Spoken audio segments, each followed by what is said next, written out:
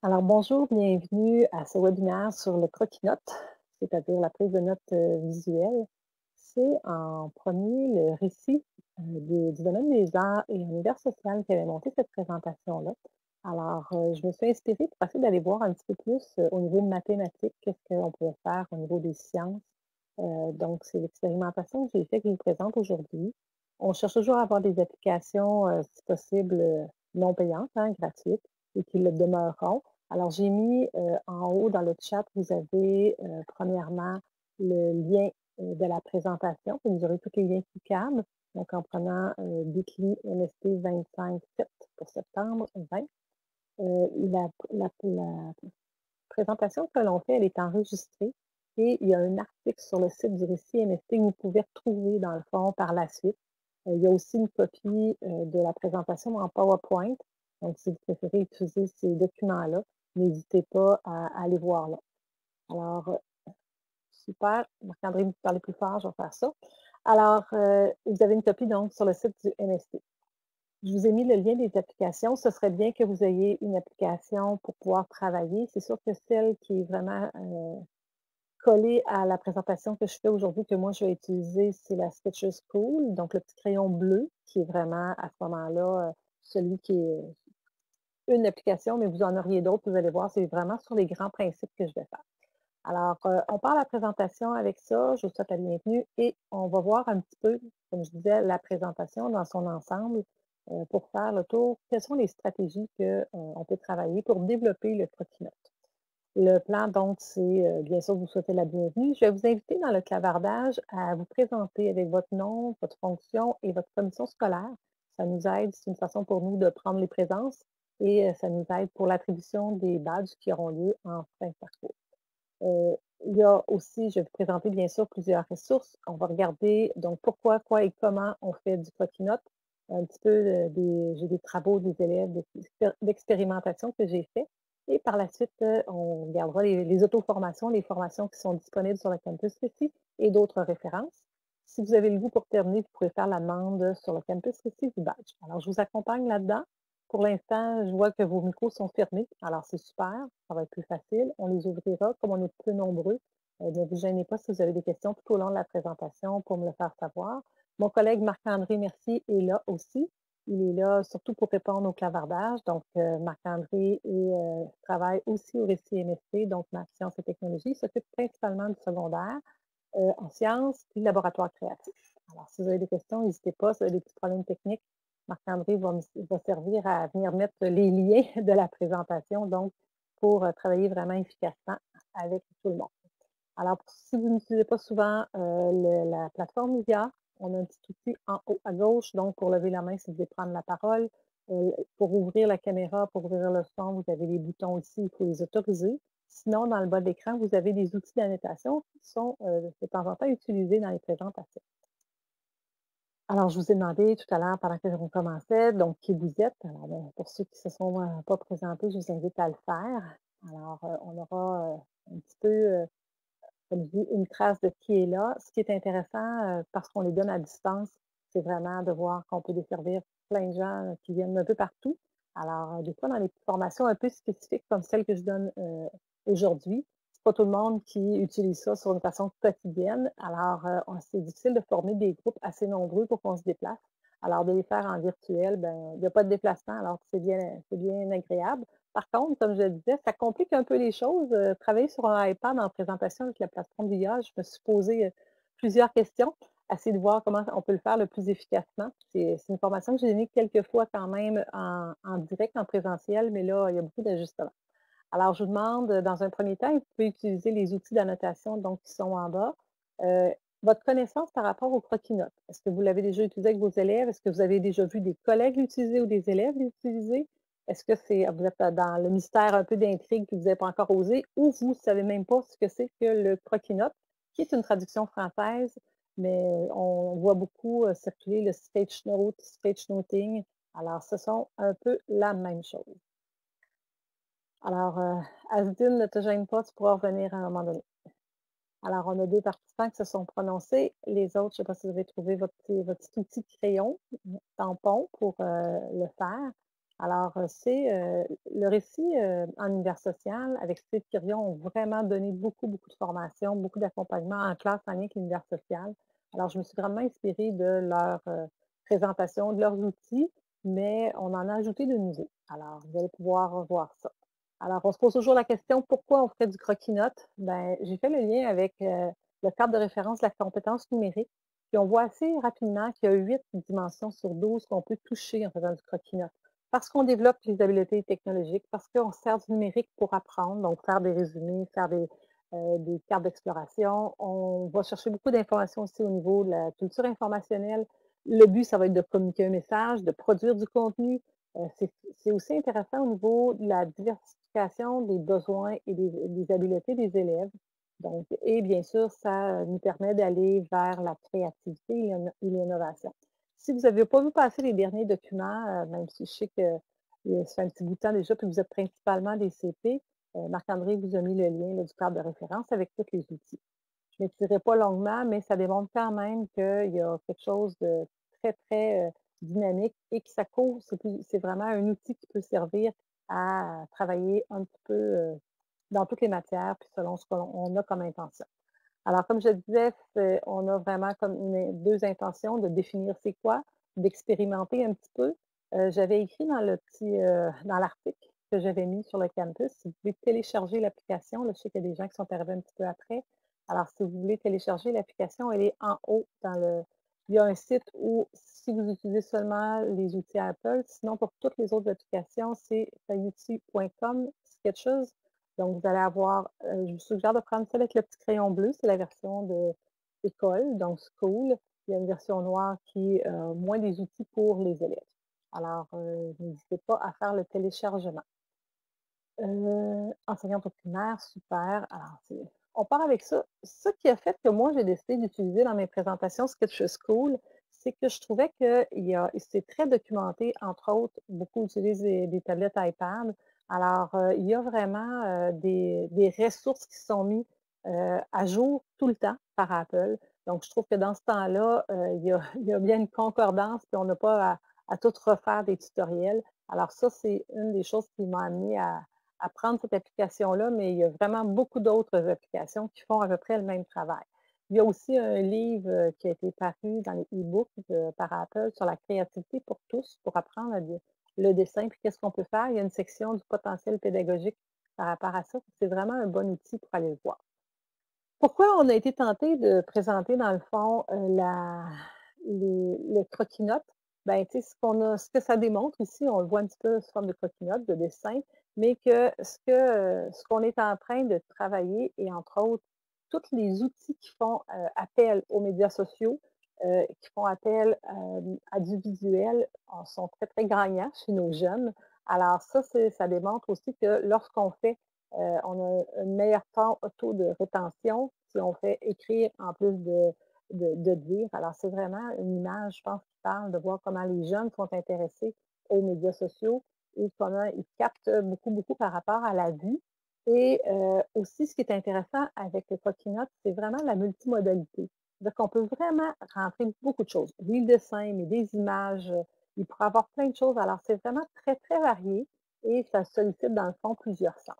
C'est ce qu'on voit ici. Selon certaines études, on disait qu'on a tendance à retenir beaucoup, beaucoup au niveau visuel, beaucoup plus que quand on touche, on manipule, que si on, est, on entend quelque chose ou si on l'énonce. Alors, c'est une façon visuelle pour démontrer que le croquis-note, c'est très visuel et ça nous sert euh, pour apprendre. Donc, on a une liste ici euh, que euh, ma collègue au récit des arts avait fait de tout ce qu'on peut faire avec du croquis-notes. Donc, oui, ça peut être une façon de prendre des notes, mais ça peut être aussi essayer de développer des complexes. Ça peut être de synthétiser l'information pour organiser la pensée, faire un partage d'idées. Donc, on a des outils aussi qui sont collaboratifs, ce qui n'est pas le cas de celui-là, mais ça existe. Alors, et l'intention, comme je le disais, c'est toujours de penser à comment les élèves peuvent être actifs, donc euh, à contribuer à l'intelligence collective, ben, s'ils font leur croquis-notes et qu'ils le partagent, tout le monde ne fait pas nécessairement sur le même sujet, on vient qu'à euh, bâtir, dans le fond, beaucoup de résumés de connaissances. En classe, ben, ce qu'on voulait vous faire prendre conscience, c'est qu'on peut l'utiliser à différents moments. Donc, soit dans un cours magistral, soit lorsqu'on lit un texte, soit lorsqu'on écoute, par exemple, une vidéo. C'est vraiment euh, dans le fond, le Croquis-Notes pourrait être utilisé à peu près à n'importe quel moment. Donc, ce n'est pas juste pour faire, par exemple, une synthèse d'une notion. Alors, comme je vous disais tout à l'heure, euh, j'ai choisi de prendre la version School pour travailler. Et s'il y en a qui ont des ordinateurs Apple, cette application-là peut s'installer directement sur cet appareil-là, mais pas sur le PC.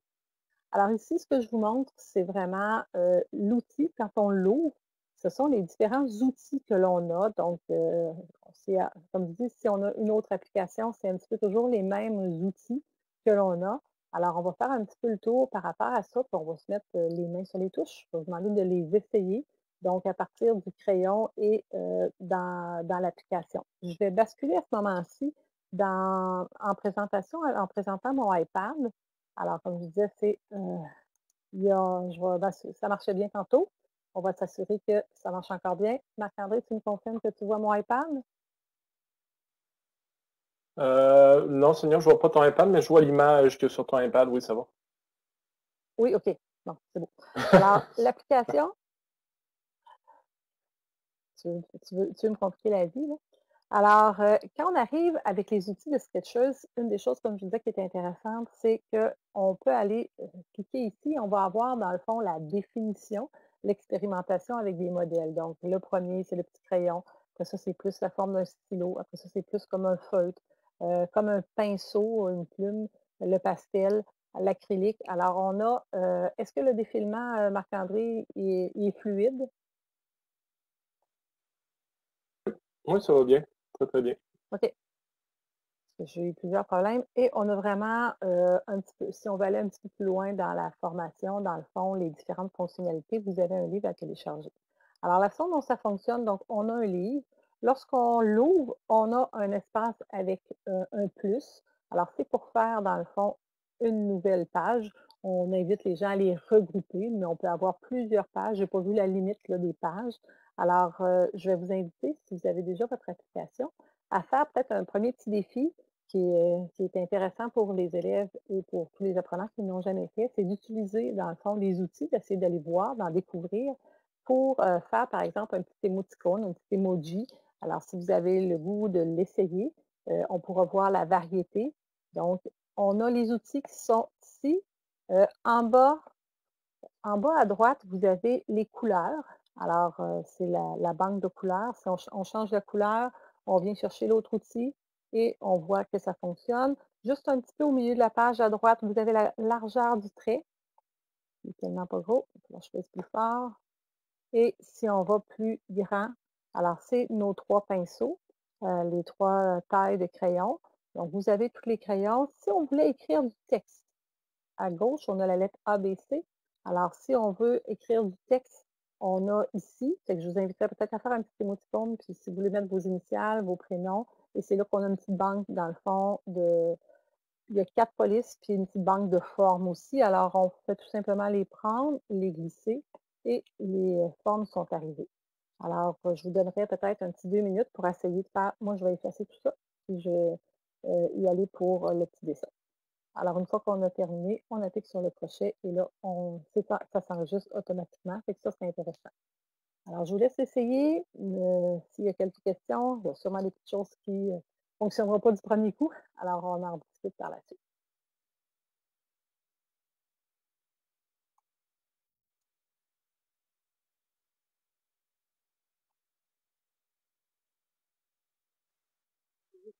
moi. Quand on met une forme, euh, c'est comme si nos pinceaux disparaissent. Euh. Euh, oui, effectivement, quand on met une forme, tu cliques à gauche, puis ils vont sortir. OK. Je viens de voir qu'il y avait un petit crochet en bas, puis en pesant dessus, ça, ben, fonctionne. une fois que tu confirmes, dans le fond, c'est comme si on donne plus d'espace pour faire ton dessin. quand tu confirmes que c'est correct avec le crochet, il, donne, il te revient avec tes outils. Si tu n'es pas satisfait, ben là, tu y vas avec le X. Puis là, dans le fond, une fois que j'ai confirmé, est-ce que je peux la, rechanger, ma grosseur de forme ou euh, oui, je peux plus? mais avec euh, l'outil Exacto qui est complètement en bas. Alors, je, vais, je vais repartir le partage d'écran. J'aurais dû le laisser là. Hein. Je remonte ça. Alors, l'outil, euh, Exacto, un des principes qu'on montre avec les enfants, c'est que ça devrait être un peu un, principe de base, mais quand on fait un croquis note, on devrait se servir le moins possible de l'espace. Alors, ici, notre euh, le petit Exacto, je vais sélectionner ma forme, puis là, elle va devenir mobile. Alors, je peux, je peux à ce moment-là la déplacer, mais je pourrais aussi euh, décider de l'acheter. Je peux la, la on veut pas, hein? Alors, je peux la rapetisser. Alors, je peux jouer avec ma forme. J'ai en haut à gauche la petite flèche de back. Donc, si je veux annuler mon undo, alors ça, c'est intéressant si je me trompe.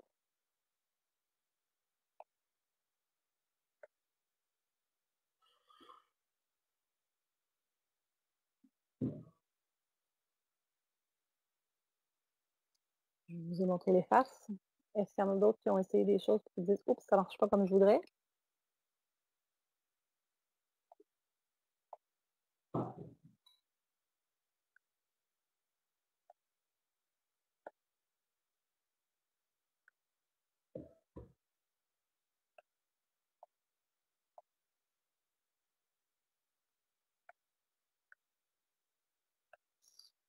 Un de mes outils préférés, c'est le, le rouleau à peinture. Le rouleau à peinture fait que je vais vraiment faire des mouvements, qui vont remplir comme les espaces. Et ça peut être une belle façon, des fois, d'aller chercher euh, des, figures qui ne sont pas pleines. Alors, euh, pour faire mes cheveux, ça peut être une façon. Je pourrais même me faire un balayage. Mais voilà. Et on y va avec, par exemple, notre nom. Lorsqu'on clique, on voit que la partie écrire ici apparaît. Et là, je peux insérer mes lettres. Je veux le déplacer.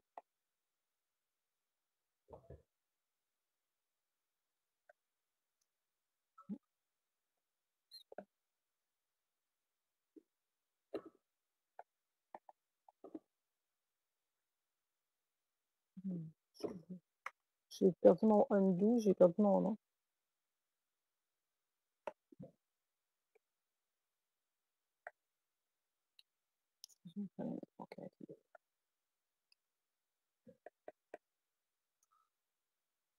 J'ai comme perdu mon clavier ici.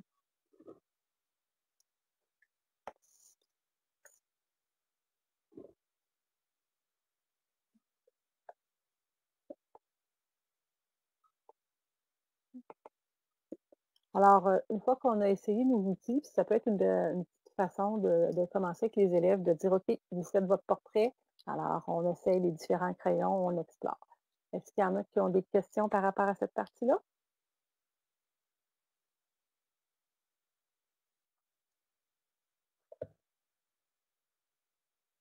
Oui, Nancy, vas-y.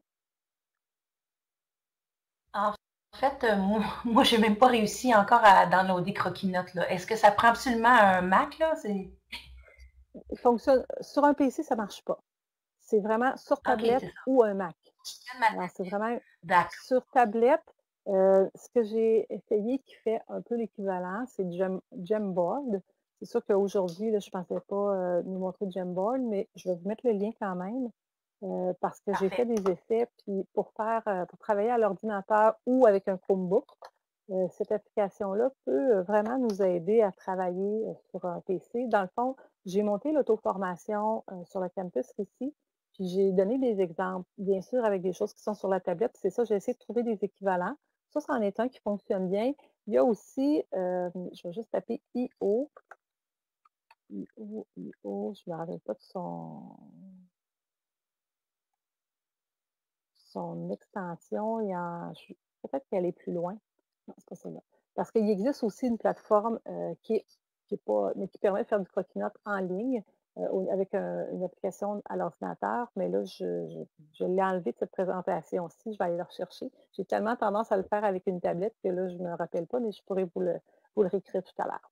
Alors, l'idée ici, c'est vraiment de dire. Excuse-moi. Sinon, il s'appelle vraiment Croquis Note. Est-ce que c'est ensemble? Parce que je ne le trouve pas quand je suis dans Apple, euh, dans le, le vrai nom, c'est? Le vrai nom de l'application, Marc-André l'a mis, c'est euh, Tiatsu Sketchers Code. D'accord, c'est bon, je Donc le ça, c'est l'application que moi j'utilise aujourd'hui, mais il y en existe d'autres, comme je disais. Paper en est une. Euh, au niveau du, euh, de l'ordinateur, euh, d'un PC, je devrais dire, elle n'est pas disponible. Alors, c'est vraiment un, outil développé par Mac. J'ai essayé d'en faire avec du Jamboard, ça a été pas pire. Euh, puis il y a un autre nom de logiciel, puis là, je le cherche, puis je ne reviens pas en mémoire, là. Mais il y a des plateformes qui permettent de le faire en ligne où on n'a pas besoin de faire des téléchargements d'installation de logiciels puis des techniciens. Alors, il va peut-être en venir, puis je vais, le- repartir. Donc, un exercice, comme je disais, que je donne aux élèves pour commencer, pour qu'ils explorent les, outils. De un, les outils sont expliqués dans le petit logiciel que je vous ai montré sur la plateforme. Et de deux, ben, c'est intéressant que les élèves découvrent un peu par eux-mêmes par rapport à faire ça. Euh, donc, euh, c'est pas nécessaire de, faire un enseignement explicite de chacun des, des crayons. Il y a un petit peu de découverte. Un autre exercice que je fais avec les élèves quand je commence, c'est de leur faire prendre conscience que c'est un croquis-note qu'on veut faire. Le, truc du croquis-note, je leur donne un exercice à faire. Ben, je leur dis, euh, trouvez-vous un objet qu'on voit dans la classe, prenez, prenez votre temps, je vous donne un 90 secondes pour faire un dessin. Donc, et on s'aperçoit que le temps va faire que euh, un croquis-note, c'est pas dans le fond une œuvre d'art. L'image est très importante au niveau du dessin. On a des outils aussi que je vais vous présenter par la suite. Mais l'idée, c'est qu'une fois qu'on leur a donné le 90 secondes, on leur dit, OK, là, vous l'avez fait, voici le niveau de détail que vous avez fait. Seriez-vous capable de le faire dans la moitié moins de temps? Là, ben, ils ne savent pas, mais après ça, on arrive et on dit, OK, dans 20 secondes.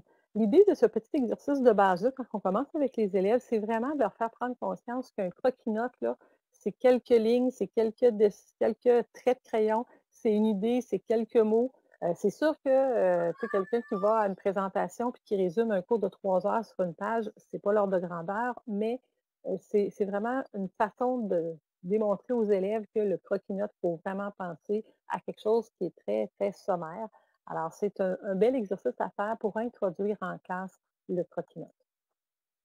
Maintenant, une fois qu'on a introduit de un les outils, de deux les, euh, euh, de travailler un petit peu la vitesse au niveau de les habiletés ou d'épurer nos dessins, mais là, il y a quelques trucs qui sont intéressants. Les, trucs à retenir, bien évidemment, c'est que, euh, puis là, on les a un petit peu classés par rapport à une proposition. Vous voyez ici, ça, c'en est une autre application qui fonctionne super bien, qui est gratuite, que peut-être certains ont aussi, c'est l'application Paper. Donc, dans un croquis-note, une des choses qui va nous aider à diriger le regard, c'est de faire des traits. Alors, faire des traits, si l'élément est plus important, on le met en plus gros.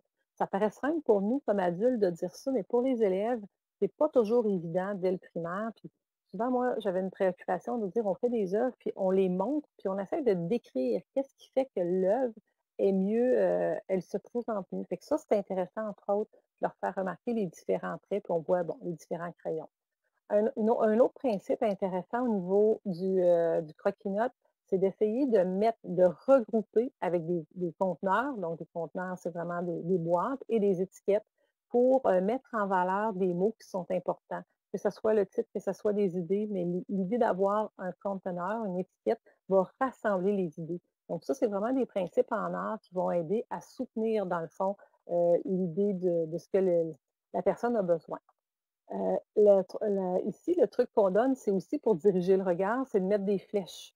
Donc, euh, si euh, on veut avoir tout le même mot puis qu'on amène nos flèches vers le centre, ça va vraiment aider à, concentrer un petit peu le regard. C'est toujours l'idée hein, de, de diriger le regard vers ce que l'on veut. Alors, ça s'apprend, ça s'exerce, ça s'observe aussi. Des fois, on peut prendre soit des travaux qui sont faits par les élèves, soit des choses qui sont faites au niveau professionnel. On les montre et on les compare avec les élèves.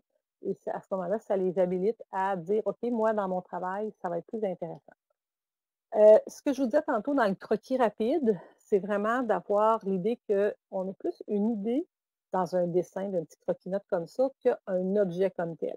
Alors, on comprend bien que quand je vois mes petits bonhommes rectangulaires que Steve avait fait dans la présentation, c'est très sommaire, mais euh, on reconnaît que c'est un bonhomme. Donc, c'est l'idée. Euh, ici, j'ai mis deux, euh, deux outils qui sont vraiment, vraiment super intéressants.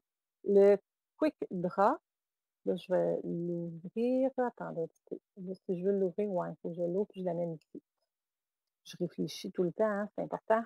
Mais comment on les présente? Euh, je reviens, j'étais. Ça, c'est la diapo 5. Donc, un truc. Alors, le Quick Draw, je m'excuse, Marc-André, j'ai réalisé que je n'ai pas mis le lien. Alors, tu veux le mettre, ça me rendra service.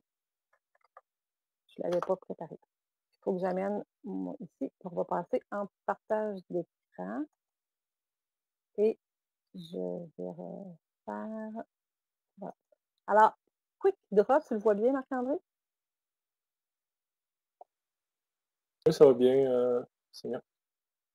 Ça, c'est vraiment un outil super intéressant si vous travaillez avec les élèves. C'est vraiment pour leur montrer à dessiner le plus rapidement possible.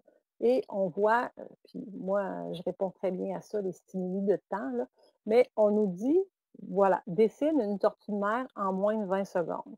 L'idée, c'est d'y aller avec l'ordinateur. Là, je vous avoue, je vais le faire à l'ordinateur. Ça se fait beaucoup mieux avec une tablette, mais c'est pas grave.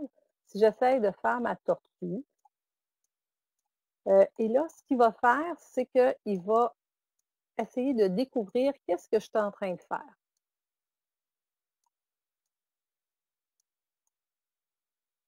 Là, il me reste 4 secondes.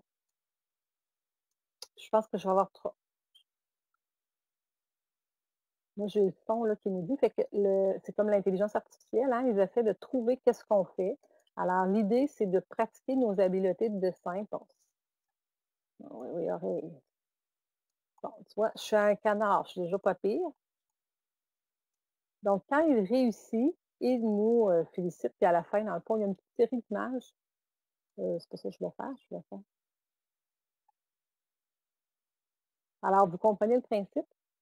c'est moustache. Alors, le but, on a euh, les dessins à deviner et c'est vraiment stimulant pour essayer de dire, OK, je deviens un meilleur, euh, un meilleur dessinateur. Je vous montre l'autre, qui est encore tout au moins aussi intéressant. Alors, c'est le autodra. Autodra, c'est, que je le parte, dès que je vais me mettre à un petit peu. J'arrive sur ma page blanche. Comment ça, je ne suis pas sur ma page blanche? Un petit temps, je n'ai pas. OK, on en prend un autre. Parfait. Alors, le but, c'est de dire, je commence à dessiner. Je voudrais, par exemple, dessiner une main. Alors, je commence à dessiner ma main et automatiquement, il va me suggérer en haut ce qu'il pense que c'est alors, si c'est ce type de main-là que je voulais faire, j'ai juste à cliquer dessus, puis il va la reconnaître. Donc, l'élève qui, ou l'adulte, qui a une, n'a pas une main d'art, euh, il va pratiquer son dessin. Qui est super intéressant, c'est qu'après, on peut le prendre, pour on va venir l'incorporer dans nos, euh, dans nos, euh, dans nos notes qui sont faits avec les logiciels, parce qu'on peut importer des dessins. Donc ça, ça peut donner aussi une qualité de dessin euh, d'images, puis la banque est vraiment, vraiment intéressante. Alors, il s'agit d'en dessiner, puis après ça, de les importer. Alors ça, je trouve que c'est des belles techniques, des beaux outils pour dire, ben, on travaille avec les élèves, mais on arrive avec des productions qui sont quand même super intéressantes. Euh, donc, ça, c'était les deux petites démonstrations. Je vais faire. Je vais laisser le temps là. Donc, Google Images aussi, ça peut être une belle façon. Google Images, on peut avoir, si on va chercher dans les outils, des dessins au trait. Donc, euh, on peut aller chercher des choses qu'on veut mettre dans nos présentations de croquis-notes, on peut importer. Alors ça, ça peut être une belle ressource, mais je ne vous montrerai pas. Alors, les, deux petits logiciels de dessin, là, ça, c'est pas mal intéressant. Euh, évidemment, on peut appliquer la peinture aussi. Hein, pensez à mettre de la couleur. C'est démontré que, par exemple, le rouge, le jaune, ça attire davantage l'attention. on peut le dire aux élèves. Alors, à un moment donné, de dire, ben, c'est quoi l'élément le plus important? Veux-tu le mettre avec une couleur? Alors ça, ça peut être une façon de choisir. Euh, évidemment, il y a les polices de caractère qui vont faire aussi que euh, notre, ça peut changer un peu notre style. Et on a vu que dans l'application Sketcher School, ben, il y a quatre polices de caractère, mais quand même, ça nous permet de varier, d'en avoir plus qu'une sur notre présentation. Euh, je vous ai parlé beaucoup des flèches tantôt, mais on voit aussi au niveau de la structure. ça peut être fait comme une liste, comme des pictos de façon linéaire. Ça pourrait être fait sous forme d'un réseau. Ça pourrait être fait avec des sections en pensant un petit peu à une bande dessinée ou euh, à un modèle de frayeur, peu importe. Alors, puis ça peut être fait euh, au hasard, libre, mais des fois, c'est plus difficile de, suivre un petit peu formation. Donc, euh, il, y a, beaucoup de place à la créativité. Dans le cadre des, notions mathématiques aussi, je vois que ça va un petit peu décalé, là, mais c'est pas grave. J'ai mis des tutoriels qui montrent aux enfants comment dessiner en 3D.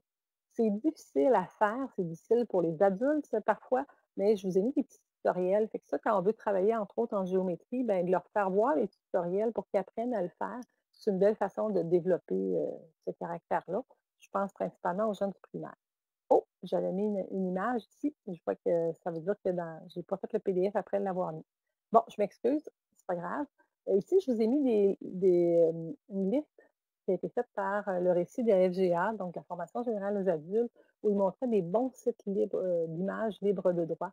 Alors, et je voulais vous montrer dans le fond qu'on peut le faire avec Google aussi. Puis dans Google, on a un endroit où on peut dire de, s'assurer de donner des, des, images qui sont sous, sous la licence Common Creative. Donc, pour arriver à avoir des images, si on les importe, soit libres de droit ou soit qu'on cite les sources, mais au moins on n'a pas. Donc, ça peut être une belle façon de faire de l'éducation à un comportement éthique pour nos élèves. Donc, ça, ça fait partie de, des avantages d'utiliser les procureurs. Alors, si je fais un petit peu de pouce sur ce qu'on fait en lien avec les mathématiques ou les sciences, ben, je vous ai sorti un petit peu quelques, euh, quelques réalisations que j'ai faites. Euh, on voit qu'il y en a que j'ai fait, la première expérimentation que j'ai faite, j'ai même commencé à, le faire sur papier. Là, aujourd'hui, je ne vous présente pas sur papier, mais si vous allez dans l'auto-formation, vous pourrez aller voir. C'est avec euh, les feuilles de, Rocketbook. Alors, c'est des feuilles où les élèves écrivent et par la suite, on a vraiment, parce qu'il y a un code QR intégré à la feuille, on peut les numériser rapidement et on voit le, travail euh, des élèves.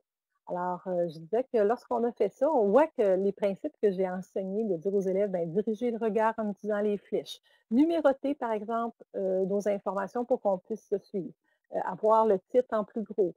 ici, on a vu quelqu'un qui a davantage utilisé le rouge et le jaune, il voulait capter l'attention. Donc, les, différentes images, c'est intéressant de voir l'évolution. Alors, j'ai fait ça pendant, je pense, trois ou quatre périodes avec euh, des élèves euh, de sixième année. Euh, Madame Mélanie donnait le cours de puis par la suite, on essayait de tirer des exemples, puis les élèves s'amélioraient vraiment grandement. Puis d'une fois à l'autre, je leur ai montré comment on pouvait faire. Comme pour la deuxième notion, j'ai fait la, priorité des opérations. Là, je leur avais montré, par exemple, pour mettre les, euh, d'utiliser les polices de caractère. Donc, au début, hein, on voit qu'on n'est pas obligé de tout se servir non plus. Alors, les élèves avaient quand même euh, beaucoup retenu les grands principes qui font que les images sont de plus en plus jolies. Alors, on en a de toutes sortes. Euh, et il existe aussi sur certains sites, des fois, il y a des gens qui font du croquis-notes où les élèves ont des bases qui ont juste à compléter des sections. Des fois, je les ai vus sous l'appellation Doodle. Alors ça, ça peut être cherché mais aussi sur Pinterest, là, vous allez retrouver beaucoup de feuilles comme ceci. Les élèves peuvent dessiner, qui peuvent ajouter de l'information, leurs exemples. Fait que ça, c'est vraiment, vraiment intéressant. Je vous fais écouter les dernières infos de... Excusez-moi, mon Thierry me reconnaît. Euh, alors, j'ai aussi d'autres exemples en sciences là, de ce qu'on peut faire. Et là, ça va être intéressant de voir, dans le fond, comment on peut faire pour aller chercher les images qui existent déjà pour les importer. Alors, euh, pourquoi on fait du croquis-notes? Ben, on essaie de rendre, dans le fond, la pensée visible. On arrive, les élèves, des fois, oui, on enseigne puis ils prennent des notes, mais cette façon de prendre des notes-là va faire qu'on va peut-être plus comprendre s'il y a des erreurs. Je vais basculer au niveau de la présentation pour vous montrer les différentes options par rapport à ça. Et par la suite, on pourra faire un petit Alors, mon écran ici. OK. Alors, euh, en plus des outils, ce qu'il faut comprendre, on vient comprendre la taille des crayons, la couleur. Euh, l'autre chose bien importante, c'est de travailler avec les trois petits points en haut au centre. Alors, les trois petits points, vous avez euh, dans, la, roue d'engrenage, on donne les préférences. Donc, euh, un des bons avantages, c'est que la sauvegarde est automatique. Alors, ça, c'est vraiment super intéressant et important quand on travaille avec les élèves. la deuxième chose, on a le point d'interrogation, c'est pour avoir l'aide, donc les tutoriels qu'on a vu tout à l'heure on pourrait travailler la symétrie. Donc, euh, au niveau de faire reproduire des demi-affiches, on voulait avoir au niveau des arts. Mais le plus intéressant, c'est ce que je disais tantôt, l'importation, donc la flèche. On peut prendre notre caméra, on peut utiliser une photo, on pourrait prendre un fichier qu'on a déjà puis le mettre. Si je pense par exemple au cycle de l'eau, ben, l'enfant, il pourra avoir une image qui arrive avec le cycle de l'eau. On va la chercher par exemple dans un fichier, on l'a préparé, euh, et à ce moment-là, ben, on vient l'incorporer. Je vais prendre quelque chose qui va se trouver dans mon... Ici, je vais trouver ça, on va prendre ça. Je pense que mon, mon iPad, il ne veut pas être fin avec moi. Il me donne pas. Euh, c'est un autre. Il ne me donne pas accès, je m'excuse. Trois petits points. Alors, importer. Si à la place de prendre un fichier, je vais dans mes photos. On va prendre une récente. Super. J'ai pas eu ma flèche. Je vais débarquer de mon de mon de ma symétrie. Une photo. J'ai déjà pris celle-ci. Hey! Vous ne la voyez pas apparaître, vous autres non? OK. Alors là, elle est rendue. Donc, c'est la photo qui a été impor- importée. Une fois qu'on l'a, il faut vraiment cliquer sur le crochet comme tantôt pour euh, que nos outils reviennent. Bon, là, évidemment, ça ne fait pas très joli parce que les deux sont superposés. Mais l'idée, c'est d'importer. Et bien sûr aussi, c'est d'exporter. Alors, pour exporter, euh, c'est sûr que quand on travaille en classe, AirDrop est la meilleure façon de, faire que les élèves, une fois que leur production est faite, ils vous l'envoient. Euh, à distance, je ne sais pas qu'est-ce que vous avez comme environnement numérique pour euh, essayer de communiquer vos, travaux si on passe par différentes plateformes. Alors ça, c'est important de voir là, comment serait partagé dans vos idées, dans vos CS, selon les outils que vous avez. Mais c'est vraiment la partie où on peut explorer. Alors, vu que c'est laid mon affaire. Je vais reculer voir. On va enlever celle d'en dessous. Alors ça, ça va être mieux. Alors, ça va nous donner l'information. Donc, c'est les trois petits points, c'est les façons d'intégrer. Donc, euh, on peut superposer, c'est un peu comme des couches. Hein. Ça, ça, m'apparaît être une belle force du croquis.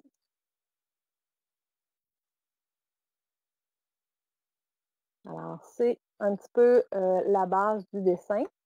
Euh, évidemment, comme on le disait, d'essayer de travailler plus avec une image, un dessin, tout dépendamment de ce qu'on veut faire. Pour importer, euh, ça peut être intéressant aussi. Il y a beaucoup de ressources au niveau euh, des formations, au niveau des livres qu'on peut acheter, même des livres numériques aussi. Et comme je le disais tout à l'heure, le récit en univers social a parti un croquis-note et je l'ai complété en maths avec des exemples de maths, mais aussi j'ai diversifié les outils euh, en pensant à des outils sur PC, à des outils papier crayon avec un peu numérique. Alors, si vous voulez aller faire le tour de ces auto-formations-là, euh, ça pourrait vous compléter un petit peu l'information pour vous donner un peu plus d'exemples de ce qui peut être fait. Avant d'aller un petit peu plus loin, je vais vous demander, est-ce qu'il y en a qui ont fait un autre petit essai, qui ont des questions? Vous pouvez lever la main, ouvrir votre micro.